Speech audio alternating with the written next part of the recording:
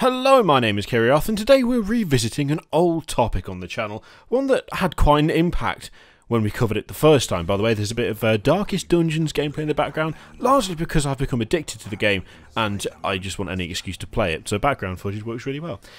Anyway, we're going to talk about Paul Ryan and Brash Games again, because for some reason, the chap seems to be under the impression that if you just wait it out, uh, whilst also making incredibly inflammatory, irresponsible, and downright unethical and immoral statements, um, eventually it'll all blow over. It'll all blow over, the people will forget, and you can carry on being an absolute prick as much as you like, because no one, no one is going to remember in a few months' time. Surely, Brash Games was just a blip.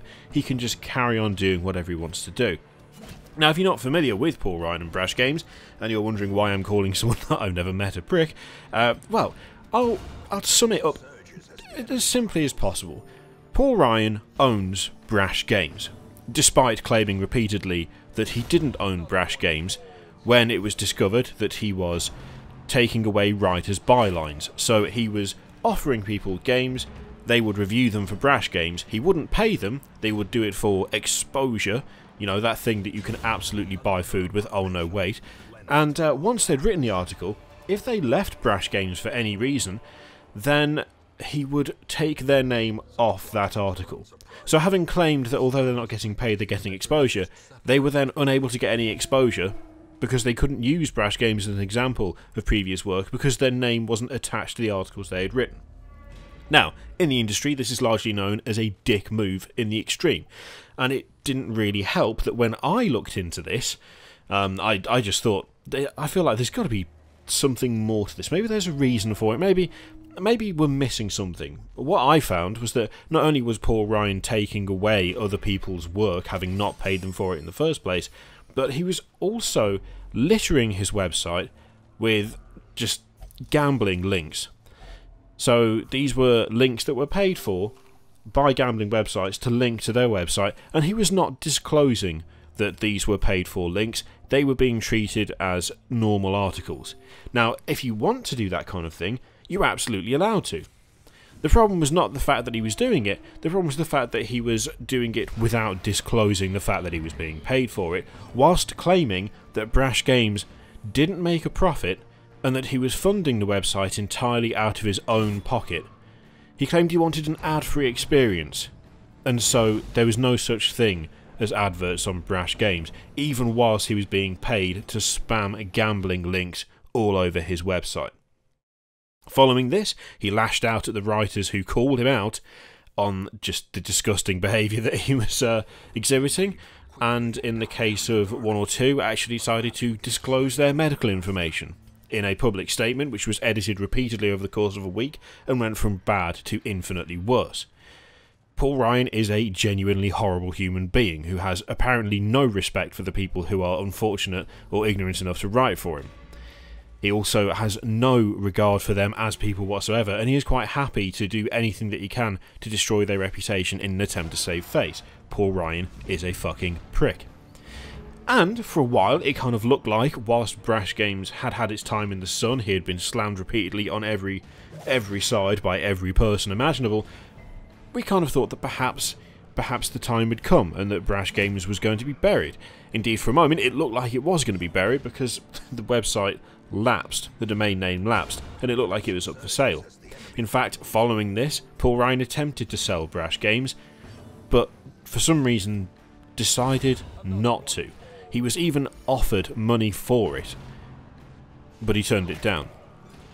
Since then, Brash Games has continued to function, unfortunately, um, but it would appear that Paul Ryan has decided that now, now is the time to try and dissociate from Brash Games, to move on to fresh, greener pastures that aren't tinted with, uh, well, the horrible behaviour that he that he exhibited whilst he was on the receiving end of some very justifiable backlash. But surely, surely he must know that uh, no one who was affected by his bullshit was going to let this slide. which is why this video is being made right now. Because Brash Games, it would appear, is moving. Brash Games, whilst it is still active, there seems to be a little bit of, uh, just a little bit of, a little bit of movement on the Brash Games front. Indeed, as you can see right here, got some nice, uh, got quite a few reviews went up today and yesterday. Oh dear.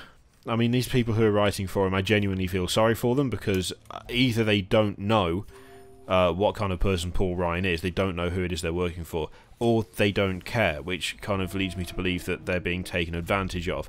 Um, but as you can see, Brash Games still exists, right down to a undisclosed advertising link there, and there, and there's one there, and there's one right there too. Oh, and that also.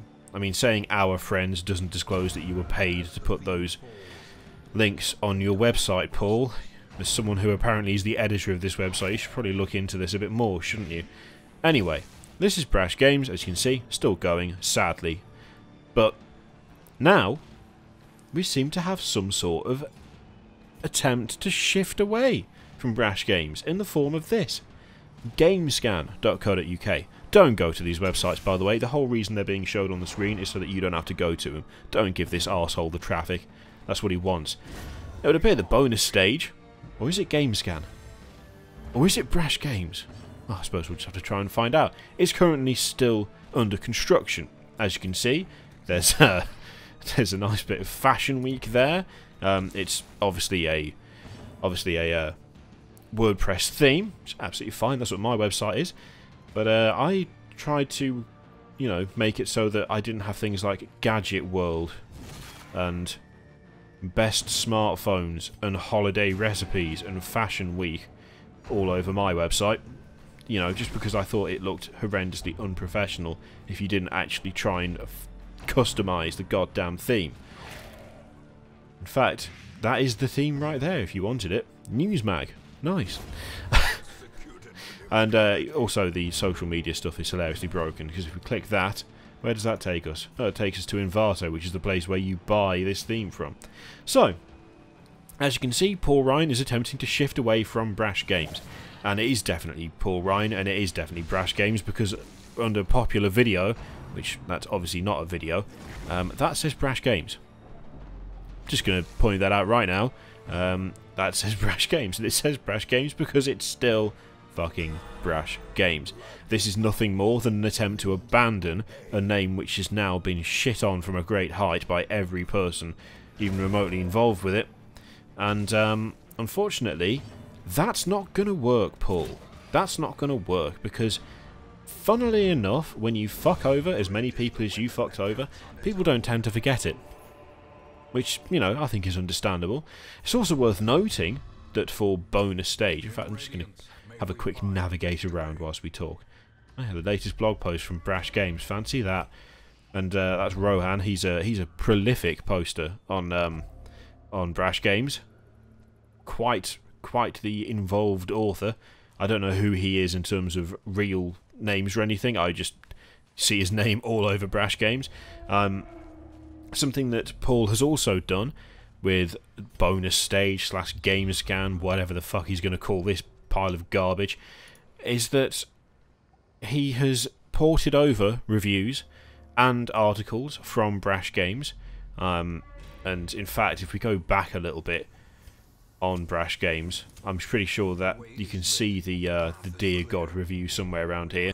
Although I'll be honest, I'm not going to look too hard, uh, just because I already know it's there, and um, because I I already saw it when I was investigating Brash Games the first time, and uh, whatever, whatever.